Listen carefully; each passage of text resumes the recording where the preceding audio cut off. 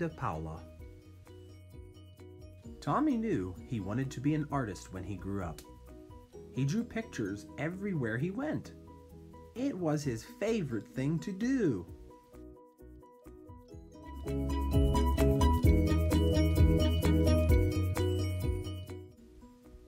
His friends had favorite things to do too. Jack collected all kinds of turtles. Herbie made huge cities in his sandbox. Jeannie, Tommy's best friend, could do cartwheels and stand on her head. But Tommy drew and drew and drew. His twin cousins, who were already grown up, were in art school learning to be real artists. They told him not to copy and to practice, practice, practice. So he did. Tommy put his pictures up on the walls of his half of the bedroom. His mom put them up all around the house.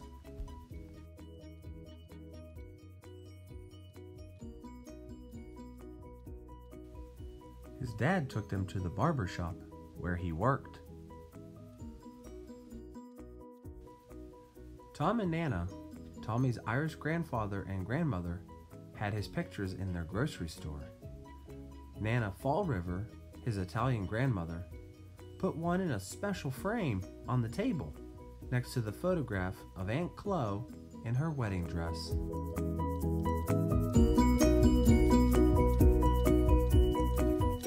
Once Tommy took a flashlight and a pencil under the covers and drew pictures on his sheets. But when his mom changed the sheets on Monday and found them, she said, No more drawing on the sheets, Tommy.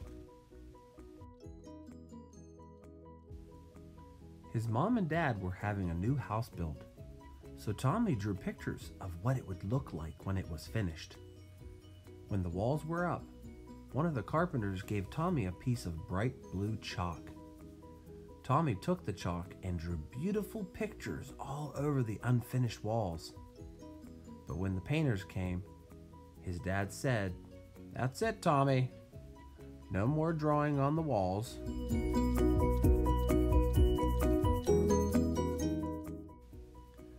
Tommy couldn't wait to go to kindergarten. His brother Joe told him there was a real art teacher who came to the school to give art lessons. When do we have our art lessons? Tommy asked the kindergarten teacher. Oh, you won't have your art lessons until next year, said Miss Bird. But we are going to paint pictures tomorrow.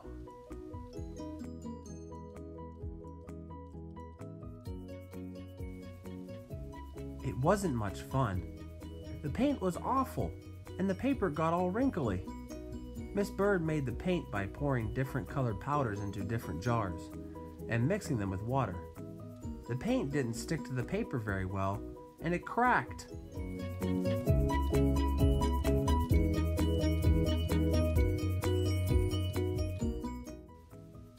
If it was windy when Tommy carried his picture home, the paint blew right off the paper. At least you get more than one piece of paper in the kindergarten, his brother Joe said. When the art teacher comes, you only get one piece.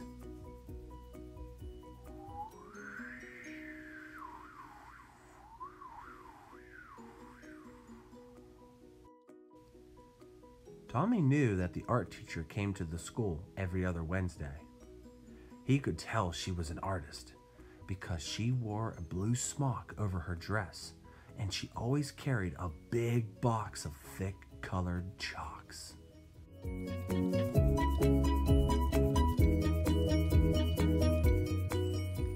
Once, Tommy and Jeannie looked at the drawings that were hung up in the hallway. They were done by the first graders. Your pictures are much better, Jeannie told Tommy. Next year, when we have real art lessons, you'll be the best one.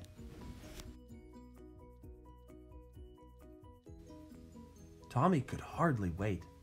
He practiced all summer. Then on his birthday, which was right after school began, His mom and dad gave him a box of 64 Crayola crayons. Regular boxes of crayons had red, orange, yellow, green, blue, violet, brown, and black. This box had so many other colors blue violet, turquoise, red orange, pink, and even gold, silver, and copper.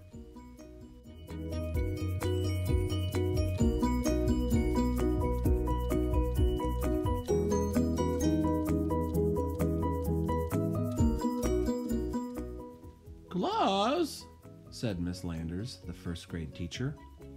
Next month, the art teacher will come to our room, so on Monday, instead of singing, we will practice using our crayons.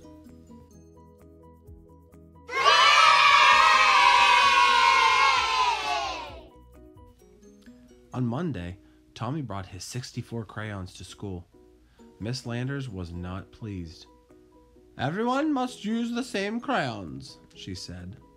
School crayons? School crayons had only the same old eight colors. As Miss Landers passed them out to the class, she said, These crayons are school property, so do not break them, peel off the paper, or wear down the points.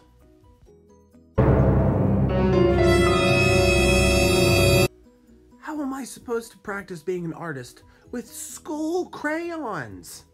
Tommy asked Jack and Herbie. That's enough, Tommy, Miss Landers said. And I want you to take those birthday crayons home with you and leave them there. And Joe was right. They only got one piece of paper.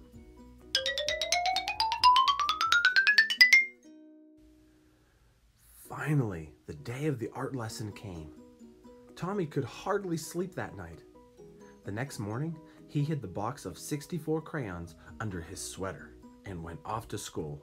He was ready.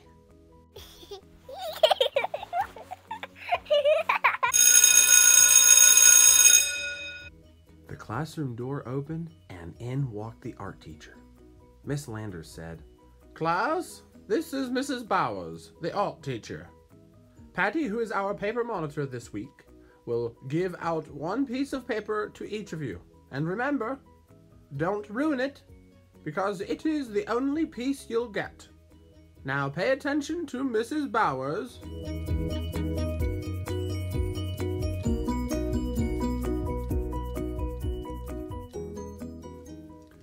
Glass, Mrs. Bowers began, because Thanksgiving is not too far away, we will learn to draw a pilgrim man, a pilgrim woman, and a turkey. Watch me carefully and copy me.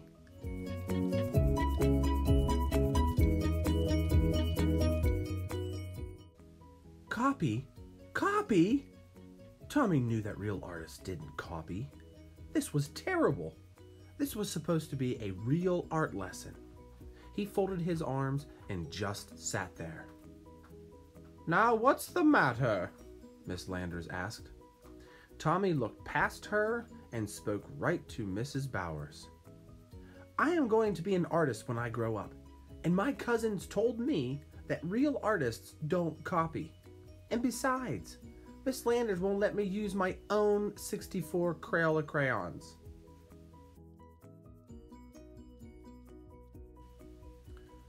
Well, well, Mrs. Bowers said. What are we going to do? She turned to Miss Landers and they whispered together. Miss Landers nodded. Now, Tommy, Mrs. Bowers said, it wouldn't be fair to let you do something different from the rest of the class. But I have an idea. If you draw the pilgrim man and woman and the turkey, and if there's any time left, I'll give you another piece of paper and you can do your own picture with your own crayons. Can you do that? I'll try, Tommy said with a big smile. And he did.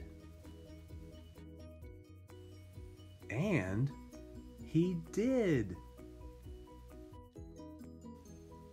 And he still does.